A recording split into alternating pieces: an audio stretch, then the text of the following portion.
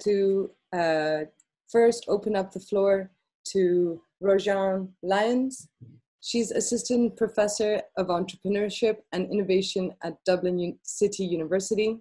And now, during this time, she is now co-founded Team OSV Extended, an open innovation community focused on COVID-19 solutions and outreach. Over to you, Roisin.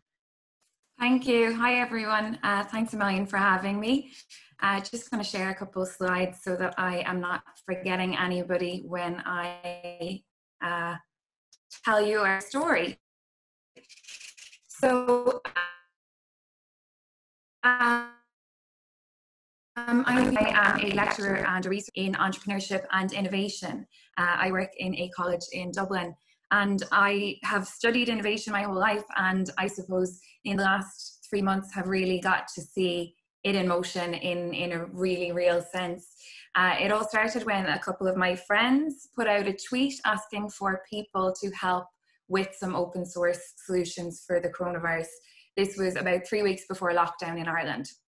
They were uh, inundated with responses. Um, it, you know, thousands and thousands of doctors, engineers, frontline staff all jumped onto a, an online community, a Slack community, to try and solve some of the problems that were pressing in Ireland and internationally. Uh, and it grew and it grew, and uh, it became a, a two pronged approach one Slack channel devoted to the, the hardware ventilator solution, of which multiple iterations happened, and they the group gained huge success in a number of different channels. You can see in that slide there just how many versions of the ventilator were created by groups all over the world. Interestingly, uh, once lockdown happened across the globe, these open source designs were taken by different groups who were trying to work in private labs, work in their own resource centers to try and test that around. And so, as that was growing, we were realizing that there was even more people joining our community that weren't necessarily specifically engineers or hardware experts, just people trying to do something. And we recognized that there was plenty other problems that needed solving.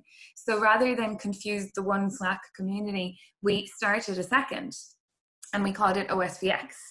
And this was for non ventilator uh, aspects. So it related to software problems, you know, service issues, even outreach and volunteering campaigns.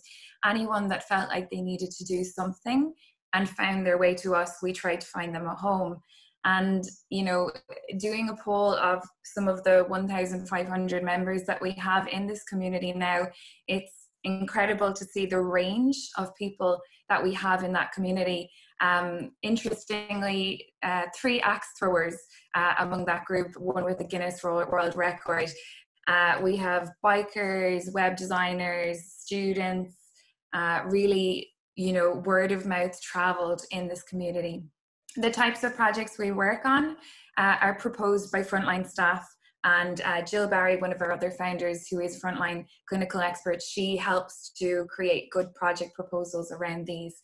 So we've worked on some really interesting projects, the face shields and face masks and PPE resourcing that uh, a number of our speakers today will be talking about, but also, um, you know, more interestingly, things about biohazard stuff, uh, decontaminating floor trays so that wheel rotations don't contaminate trays and as trolleys are moving around corridors. Lots and lots of very interesting uh, aspects. And now we're starting to move into the more service-based approaches like what schools need to do uh, and how the, this crisis is evolving, the new problems and the new aspects that are coming up uh, that frontline staff workers and other general people are finding are knock-on effects of this crisis. So with this community and, and definitely my perspective as being the kind of community manager and one of the founders of this channel, it was very tricky in the sense that we had um, a huge range of people, many of whom had never used Slack before or a community like this. Never, many of them had never done open source collaboration before. We had a range of projects moving from hardware to software and to outreach. And so, even just organizing and documenting and trying to move people in the right channels was a real um, challenge, uh, particularly because none of the founding team or the organizing team had ever used Slack before either. So we were all new to, to the initiative and we had to really think on our feet. Um, at the same time, restrictions were getting stronger and, and real need was starting to be felt right across the world, but particularly and acutely in Ireland, um, where a number of our members were, were from. So just to show you, and, and, and I am sticking to the five slides, don't worry, Christina, um, just to show you a bit of the range that we had, just to give you that perspective. We had a group of designer and artists working on um, on guidance posters that were not as scary for maybe our retirement centres. They were translating those into multiple languages so they could be used right across the world. A designers, artists, loads of people in that in that channel. Added to that, some translators joined that group and started to translate them out. So there was kind of multiple groups working there.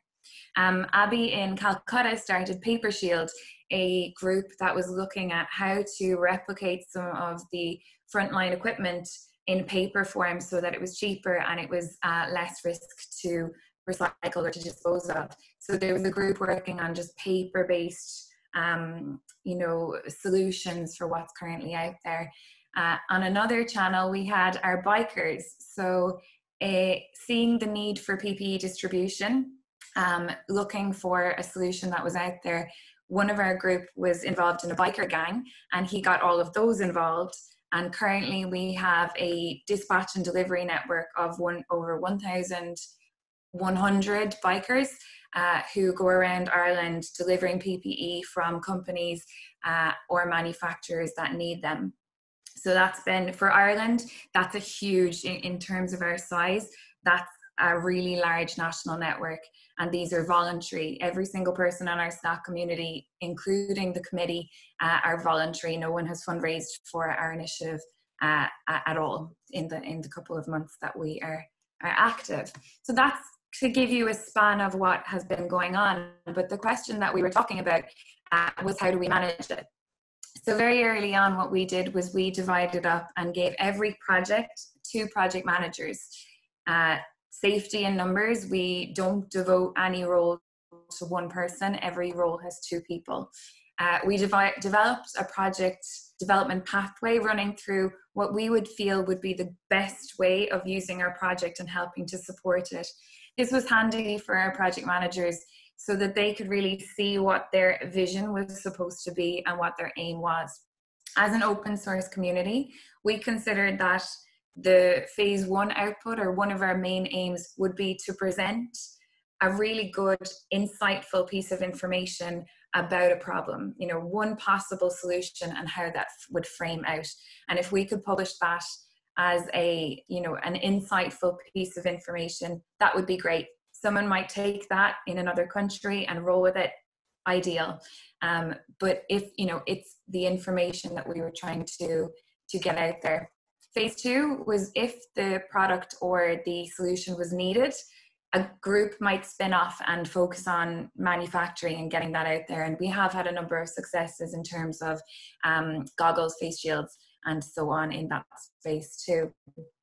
We had quality management, we had discussions, we have weekly project manager meetings, and we have connected with as many open source communities as we have, have tried. And that's why most of the people watching this today um, and the speakers will know me from like DMing them on their Slack channel saying can we join in? Can we work together? Um, I think openness and collaboration is key for all of this and then I am a researcher.